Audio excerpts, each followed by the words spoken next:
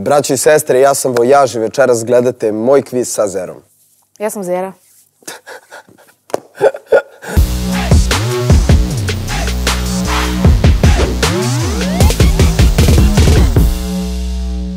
Ko se više puta našao na prvom mestu na trending listi? Zera ili Vojaž? Vojaž. A, istina, ali iz razloga zato što je Zera tek skoro počela da, da se Da. baš ozbiljno bavi muzikom. Da. Spremi se. Ja. Te piš. Ko ima više sreće u ljubavi od vas dvoje? Zera, 65.802 puta. Ja, da. da. Pa, mislim, ono, Ja sam apsolutno e, lj- ljubavno e, neregulisan, zato što ja mislim, na kraju dana majke mi ja mislim da je neka crna magija u pitanju, zato što ne postoji drugo logično rešenje za moje trenutno stanje. Koga više ogovaraju generaciji Z od vas dvoje? Mene. slažem se. 100% mene. Zašto ja to mislim? Jer sam mnogo tvrdoglav i e, jako slabo trpim e, ono autoritete i tako te stvari, ja ne mogu da, da se nosim sa tim i baš sam svoj jeglav, sve radim ono za sebe, tako da potpuno sam us, us, u neka svoja četiri zida. Što je dobro. Da, i onako nezainteresovan sam za većinu stvari. Što je dobro. Da, i onda, ono, znaš, kao, počnemo da se raspravljamo oko nekih apsolutno nebitnih stvari, ali nisu to neka ogovaranja u smislu kao mi se sada ne volimo, ne podržavamo i to, nego ono na više drugarskom nivou kao, ne znam, ja kažem Henio, je ti si dečko debil, on kaže meni, je ti si dečko debil, tako da. Da, Henny i Vojaž se mnogo svađaju. Da, on, ja se mnogo svađam, ali se najviše volim u generaciji Z zapravo. Da. Nabrojte tri breskvicine pesme. Uje. Evo ovako. E, Sava i Dunav. E, Loša. E, maska. Znam, da ne znam. Sava i Dunav, a, Bon Voyage i... Se zove onaj poslije nešto izbacim? A, Loša. Loš. Loš. To sam ja rekla.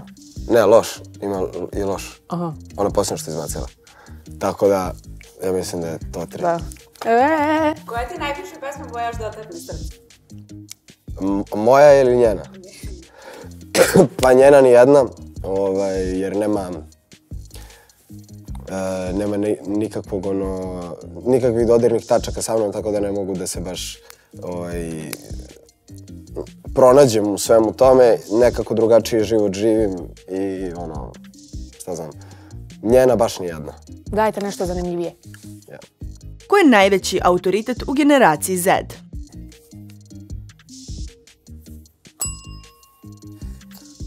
Mm, Najveći autoritet, po mom mišljenju, je Relja Torino. Dobro. Dobro, da. jer je najracionalniji. Na primjer, od trojice koji su, da, koji su napravili generaciju Z, Henija, Davida i, i Relje, nekako on mi je najracionalniji. e, racio, da, najracionalniji. Ovaj, Henija mi je nekako mnogo emotivan, pa se s njim uvek svađam. Meni je mnogo, mnogo, mnogo emotivan. A on je ekstremno emotivan, uopšte nema taj neki moment sredine a, Da. u svom razmišljanju, dok, na primjer, e, David je isto ono, on je više burazer lik i ono, e, previše je ortak, a Relja je baš, po mom mišljenju, onako fokusiran šefovski na to šta radi i više je biznis orijentisan nego ostali. Tako da, po mom mišljenju, sa moje strane, on ima najviše autoriteta u generaciji Z. Nabrojte po jednu poznatu ličnost koja vas je pitala za duet ili da im napravite pesmu. Znači ti, Pa, ja se setim. ja znam, imam ih ono, koliko hoćeš. Uh, ne znam, gazda Paja me on pitao. Pitao me, pitali su me vas za nekih ljudi, ali sad ne mogu se setim baš nešto. Ali eto, gazda Paja mi sad prvi pao na pamet zato što je to bilo ono, nešto skoro. Ja. A, ja mogu da, ono, aj neka bude to onaj, baš reći ću, neka bude onaj prvi ikada duet sa nekim strane, to je bio Vuk Mob.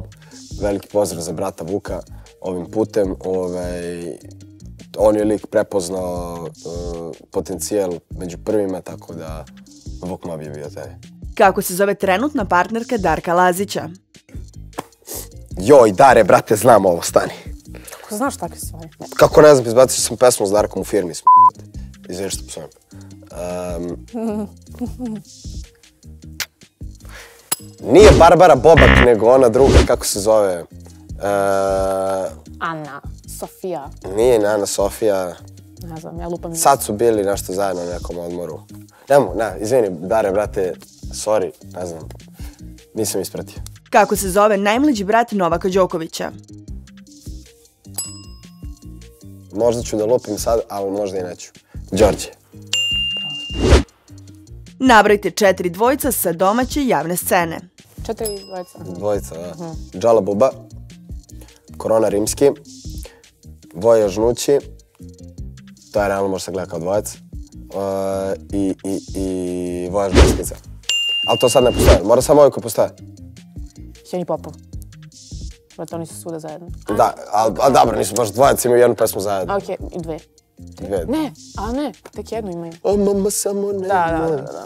Pa, koga imaju još? Kome se Zera predstavlja pravim imenom? Kako se zovem, jel me to pitala?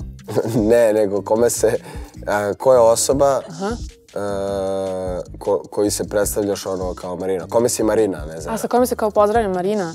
E, S apsolutnim, s apsolutno svim ljudima. Klikni, bre. A, S apsolutno svim ljudima. Sa apsolutno svim ljudima, zato što kao ja sam ipak Marina. Ne znam, nekako me čudno. Jel ti ideš kod nekog čao vojaž? Pa ni, ne, zapravo, da, a, Da? kažem ćao, ja sam vojaž, ali samo kada je, ne znam, kad smo radili, IDJ i ja, kad smo radili onu internacionalnu saradnju sa Snikom, kada je tako neki internacionalni reper, neću kažem Mihajlo, jer ja njemu da kažem Mihajlo, on neće moći to da ponovi. Ok, ja mu dobro. kažem vojaž. Hajlo. Da. Tako da sa tim kao kolegama, sa internacionalne te neke scene, više komuniciramo u fazonu kao e, vojaž, jer ih ne zanima moje pravo ime. Ove, dok ono sa ljudima generalno iz svakog Da. svakodnevnog života ovaj, pričam kao Mihajlo. Da, ja na primjer, bukvalno samo Marina, zato što kad odem preko dijasporu, kad kažem Zera, to je za njih Cera. I to ne mogu da čujem, zato što kao oni su iz sezona... Zera se u Nemačkoj i Austriji, Švedskoj, nebitno, piš, e, is, kaže Cera. I zato sam iz sezona Marina, čao vidimo se. Koji je najlepši poklon koji ste dobili od partnera? Aj ti. Pa pokušam se setim. Pa ne, ja sam... Mm, Ja sam poklon od partnera dobio pre dve, tri godine, tako da se iskreno više ni ne sjećam. Ovaj, a skoro stvarno nisam dobio nikakav poklon, tako da... Ne znam.